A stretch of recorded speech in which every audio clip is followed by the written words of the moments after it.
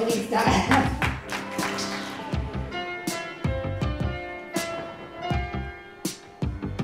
Amare eh, il Piemonte, amare il Piemonte. A parte dalla parola amare, che vuole essere una contrapposizione alla logica dell'odio che sembra permeare adesso un po' la società.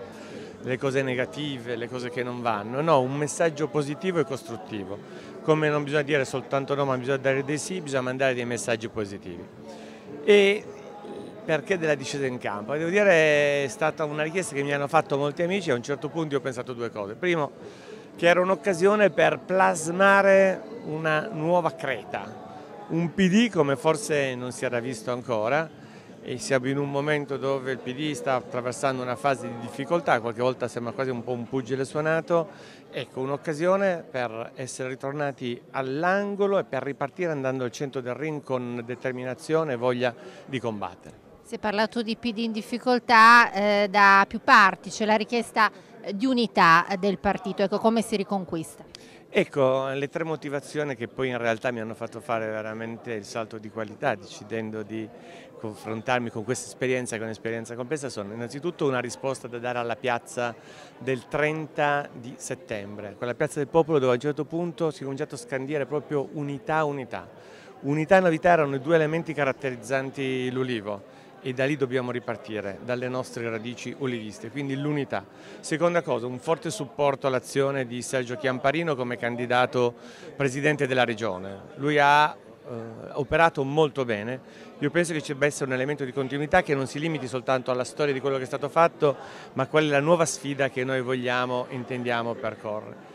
E il terzo tema penso che sia una risposta a un'altra piazza, quella del 10 di novembre qui a Torino in quella piazza c'era una richiesta inevasa di politica e di partecipazione.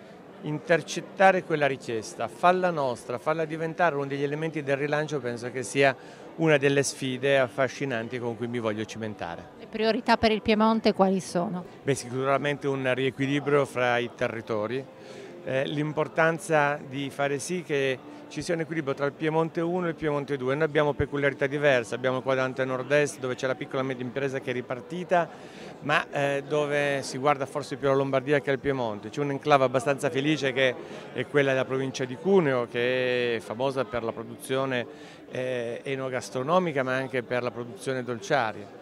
C'è una situazione di Asti Alessandria come potenziale retroporto eh, di Savona perché noi dobbiamo ragionare di TAV ma dobbiamo ragionare anche dell'asse eh, nord-sud, cioè Genova-Rotterdam.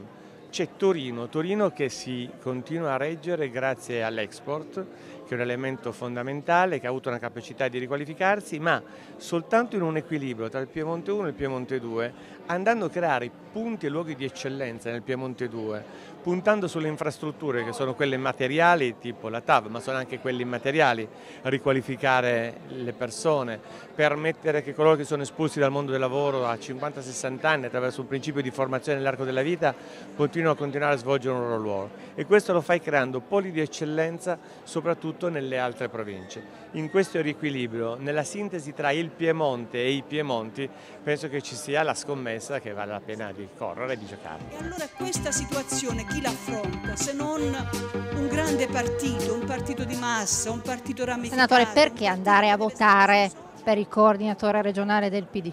Perché è un esercizio di democrazia, di democrazia vera, non è soltanto un click virtuale sul computer, dobbiamo ritornare a riguardarci in faccia, a capire chi sono le persone con cui vogliamo colloquiare e ogni volta che ci viene permesso di poter votare secondo me è un'opportunità da cogliere. So che la data è una data infelice, non, non l'ho decisa io, è la data del 16 di dicembre, domenica, dove i seggi saranno aperti dalle 8 alle 20 e andando sul sito www.pdpiemonte.it inserendo la propria sezione si saprà dove è il luogo elettorale, si saprà dove si può andare a votare. Quindi un esercizio di democrazia vera che coinvolge la gente, come l'ha fatta altre volte, perché il cittadino deve poter compare, deve dire la sua, anche per la dimensione regionale. Quindi un invito a tutti a rendere queste primarie, che poi sono una grande festa, perché poi naturalmente c'è il momento del confronto, ma poi ci sarà il momento dell'unità, con una partecipazione che sia adeguata a quelle che sono le nostre aspettative. È l'inizio di un percorso che ci porterà poi